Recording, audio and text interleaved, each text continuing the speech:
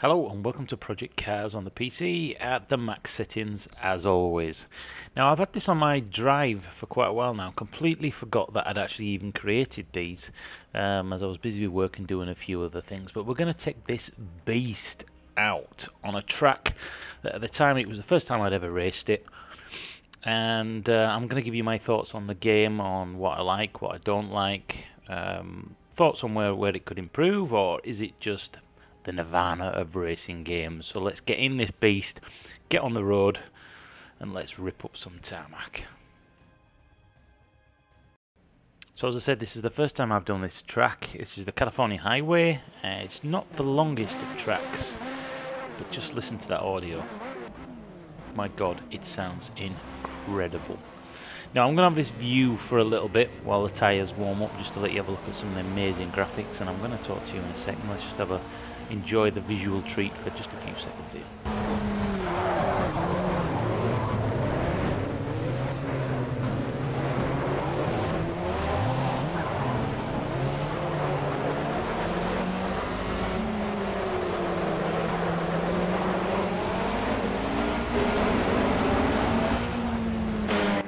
Now with all racing games it's a matter of getting used to the vehicles. Just listen to that though.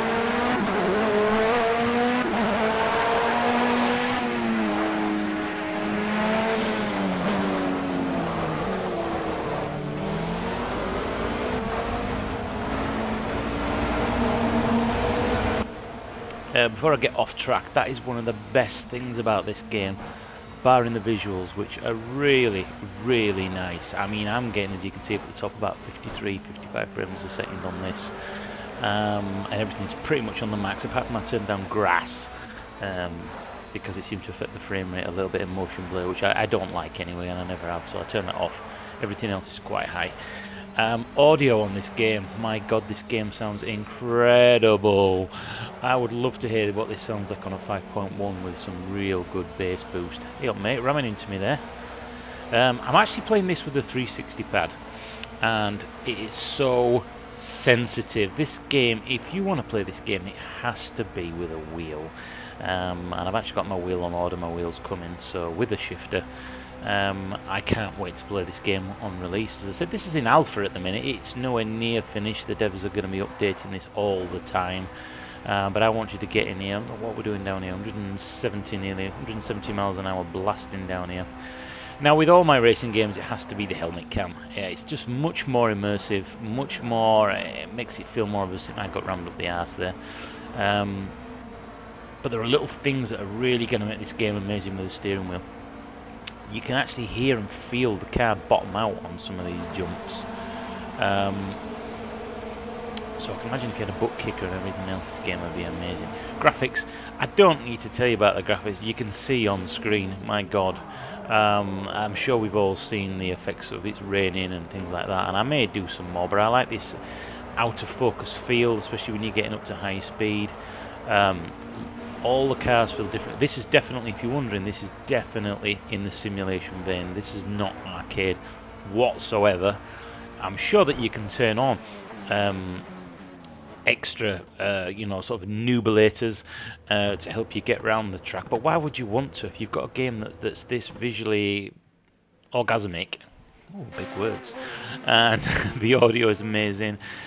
There's hardly any slowdown. I mean, I've tried this game by putting on um, 40 um, opponents, and it didn't affect the frame rate whatsoever. Rain did a little bit when it was absolutely pissing it down, affected by about five frames, but I mean, you know, it, it's to be expected. Um, they're updating the physics and the tracks and the lighting and everything else, so when this actually comes out on launch, I can imagine this game is going to be fantastic. Now, what do I think of this compared to Assetto Corsa? I love this game. I know even in its current state, this game is just really exciting to play, and that's what you want out of a racing game. It's got to feel visceral and exciting, and that's what this helmet cam really does give you. By the time you've learned the tracks, like I'm being a bit of a newbie, bumping into the other cars, not learning about the, the you know the braking zones and the tracks and the cars. This is definitely a winner. There's already a huge amount of tracks and cars in this uh, alpha um, and there are more coming on the actual launch. So if you if you weren't sure, you're on the fence about this or a Assetto Corsa, This has got the full weather dynamics.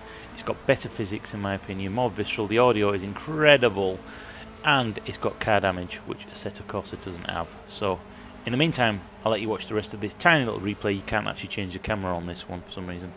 Um, but yeah, give us a thumbs up and subscribe. I'm going to be doing some more videos and thoughts on the videos coming soon. But so far, this is an absolute winner for me. Absolutely brilliant.